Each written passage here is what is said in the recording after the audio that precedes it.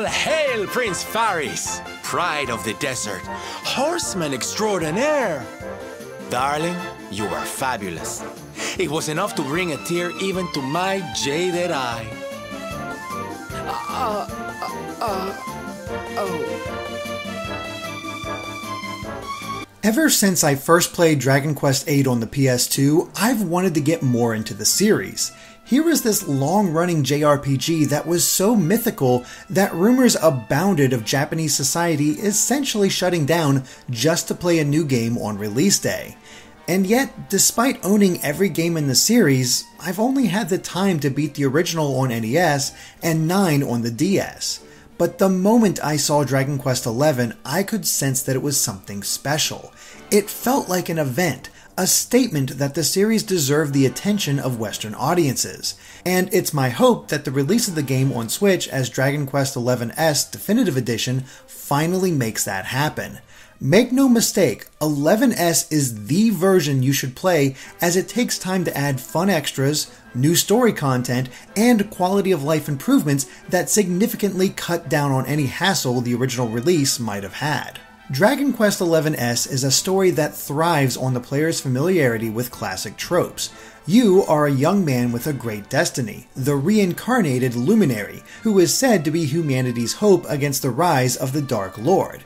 And yet, not all is as it seems, as the nearby kingdom of Heliodor has instead labeled you as the Darkspawn, the one who signals the return of the Dark Lord. Without you, evil could never rise up, so all the better to get rid of this so called hero before that could happen. Now, instead of being greeted as a savior, you and a ragtag group who still believe in the Luminary must stay one step ahead of Heliodor while searching for some way to stop the coming of the Dark Lord it purposefully comes across as a simple story, if only to play with those expectations.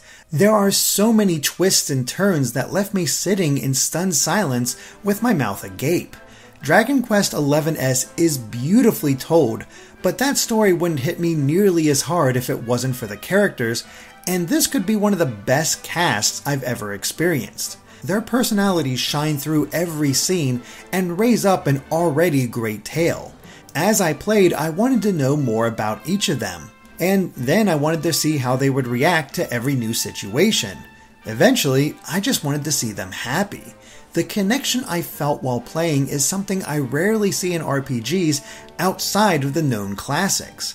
And this doesn't just apply to the characters in your party, but many of the side characters as well. Dragon Quest XI S had me tearing up over a character that I had only known for maybe five minutes. It got me emotional again over a side story that had little to do with the main plot, but it pulled me in each and every time. Micah is a famous fisherman, as rugged as the ocean. A hunky, janky sailor stuffed with smouldering emotion. I can hardly think of a character I didn't like, and the way the game goes after your heartstrings is devastating at times. What's all the more impressive is that there's a sense of grand adventure, fun, and humor that permeates the game. It put me at ease every time while I played, which made the darker elements hit all the more. And there are some truly brutal events that take place. I could recommend Dragon Quest XI S on the story alone, but how does it play? Well, in a word, it's classic. There's no grand alteration to a formula to make it feel fresh, and that's not a knock against it. It's a turn based RPG where each character performs an action while standing in line. It is possible to move around during combat, but this is only for show. Characters can be given basic tactics to make the action more streamlined, or the player can take full control themselves and select every order. Combat can be sped up in the options as well if you want to get moving and as your party fights, they'll gain levels, grow stronger, and gain new abilities and magic. In the grand scheme, combat is kept simple and straightforward, at least compared to the more complicated systems on display in other modern RPGs. However, that doesn't mean Dragon Quest XI S lacks complexity or is boring. Far from it. Each character brings something new to the table, whether it's Erik's traps and status effects, Sylvando's charming abilities, or Jade's martial arts. Every party member feels unique and useful, making it so that no matter how they're combined, a viable strategy is possible. And the party can even be switched out at any time during battle with the sacrifice of a turn if you feel a certain character's abilities would be more apt for the situation. Or perhaps someone got knocked out and rather than attempting to revive them, you simply switch out their body. Even if your entire party is wiped out, the backup members will step in for a possible comeback, which did help me tremendously on one occasion.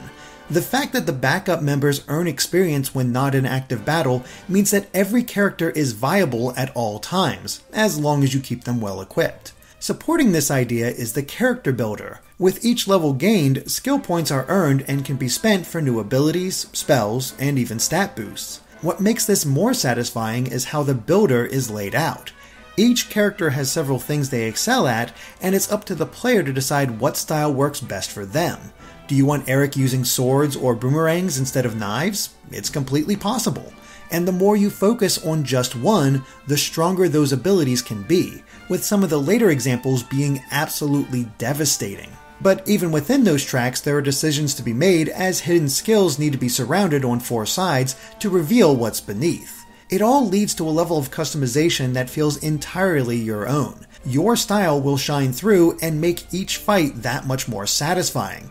And if you ever end up unsatisfied, you can redistribute your points at any time for a small fee at any save point. I truly love this system, as I could look ahead, decide what skills I wanted, and work toward that goal.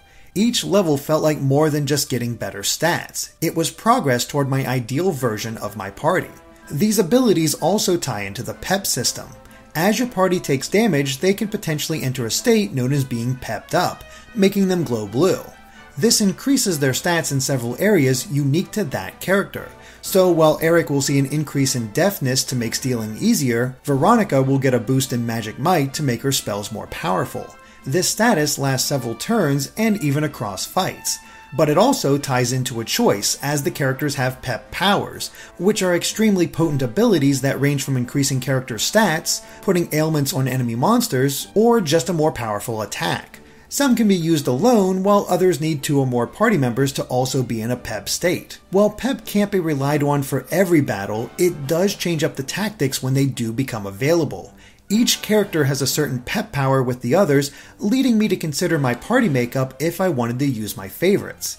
In addition, new pep powers could become available by unlocking certain skills in the character builder, which are also labeled. I enjoyed having to consider keeping the stat boost over immediately going for a pep power, or having one character pepped up and agonizingly hoping more would join so I could use a power. It's a dynamic that's not overbearing, but kept me invested throughout my playtime, and the animations are just plain fun. When it comes to battle, that's really about it, and that's all it needs to be. While few fights rarely present much of a challenge, I still enjoyed each one. Part of that likely comes down to the monster design. Each creature is filled with personality, whether old or new, and seeing them all became a source of joy for me. It's made all the better with the lack of random battles, which allow me to challenge the new monsters and safely avoid the rest. In fact, I rarely, if ever, needed to grind, which allowed me to focus more on exploration. The world of Erdrea is vast and beautiful with so many different locations to discover, and you are encouraged to explore as there's hidden chests to find and materials to collect which tie into a major minigame, the Fun Size Forge. Here, players can use gathered materials to craft better weapons, armors, and accessories, as long as you have the right recipe. So you better explore to find those recipes, because a lot of the equipment that can be built is better than what can be found in the shops. But it's not as simple as popping in the materials and getting a new item. You actually have to use the forge. This entails striking squares in order to fill a bar to a specific point. Get it within range, and the item will be ready.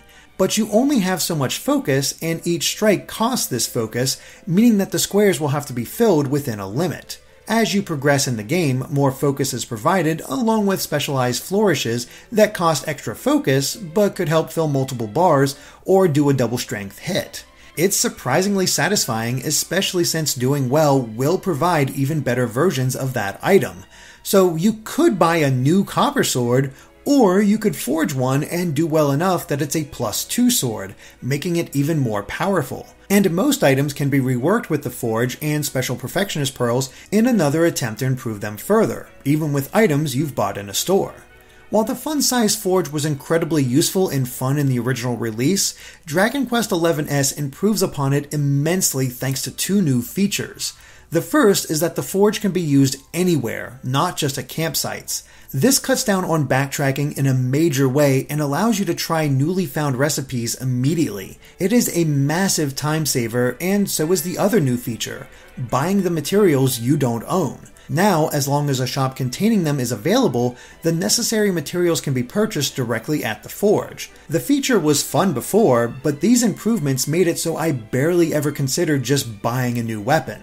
This, of course, brings up the other changes made for Dragon Quest XI S. There are cosmetic elements such as party members following behind you in the overworld, as well as the new photo mode that can be activated at any time, allowing you to pose the characters in your party however you want. There's also new story elements that help flesh out certain moments and make them stronger for it. But the biggest inclusion has to be the new 2D mode. The entirety of Dragon Quest XI S can be played like an old school SNES game, and it looks great, really capturing the sprite work of each of the characters and locations. Pre rendered cutscenes appear as normal, but every in game moment is recreated otherwise, and the battle system is slightly changed to reflect this. Rather than every character performing their action individually, meaning it's performed immediately, the player selects all of their actions from the beginning and they play out according to each character's speed. This means it's possible to try and heal a party member only for them to be knocked out before the healing is performed. It's an old school style to be sure, and better recommended for fans nostalgic for that era or a second playthrough. It is possible to switch between 2D and 3D mode at any time via a save point, but it's not an immediate change. Instead, you'll begin in the last story section you selected and will have to play from that point. Earlier moments can be chosen as well, and all of your levels, items, money, and equipment will carry over. Only key items that weren't acquired at that point are left behind. It's a neat idea and worth trying, but I got my fill of the new 2D mode during my playthrough thanks to the addition of Tickington. At a certain point in the game, players will meet a creature known as a Tockle, where they'll be transported to their 2D village of Tickington. Here, players are instructed to repair the timelines of 10 special books, namely the 10 previous Dragon Quest games. In order to do this, you have to find the Tockles spread around Erdrea who will provide a password unlocking one of the chapters of the books. And this feature is simply a treat. There is so much love in returning to these past areas where I met surprising characters and had fun with how the monsters were trying to change history. While sometimes it involved navigating dungeons, there were other quests that required items from the main game or from the other Dragon Quest worlds. It created more connective tissue than I ever expected, and while the 2D gameplay could be tougher, I delighted in seeing how they played out. There's just enough information provided that new players will understand the context, but longtime fans will appreciate the references way more. Still, it was one of my favorite aspects of Dragon Quest XI S. And it needs to be said that the game looks gorgeous on the Nintendo Switch. While it has seen a slight visual downgrade from the PS4 release in terms of the sharpness, the art style shines through, and it seems very few corners had to be cut. Sometimes characters and monsters will phase in, but the vistas are still striking and the characters pop. The only major hiccup I noticed were party members getting shifted awkwardly during battle due to bumping into the monsters' running animations. And that happened maybe twice in my 75 plus hours of gameplay. It feels like black magic that the game can look this good with extra content and still run perfectly fine. And then there's the sound design. The voice acting is top notch across the board, with Sylvando being an obvious standout, but the fiery Veronica and lovable Rab hold their own as well. There's so much personality and life given to these characters, and the performances are a big reason I got so emotional at key moments. They added that extra punch to make it all the better but it's the music that received the biggest facelift. Gone are the MIDI tracks that left a blemish on previous versions. Symphonic arrangements have been included and are a massive upgrade to what came before. The original tracks can be selected in the menu, but I never bothered.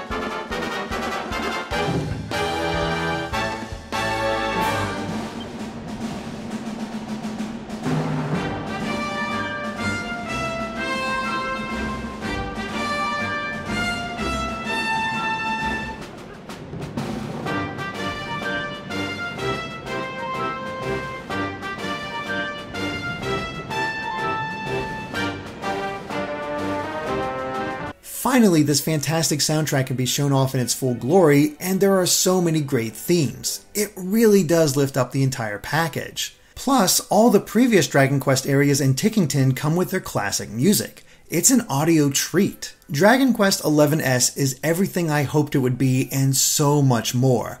The story is phenomenal. The characters are great. The combat is simple yet engaging. It looks gorgeous and sounds luscious.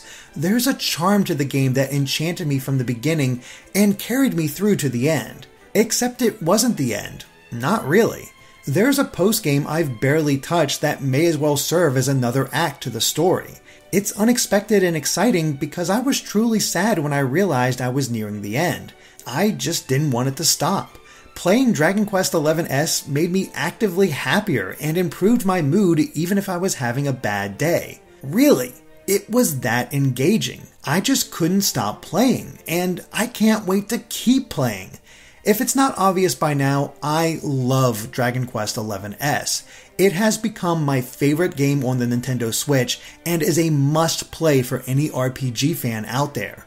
This is a modern masterpiece and is sure to be upheld as a classic in its own right in the future. It is more than time for Dragon Quest to receive the love it deserves in the West. So, naturally, you're going to pick it up, right?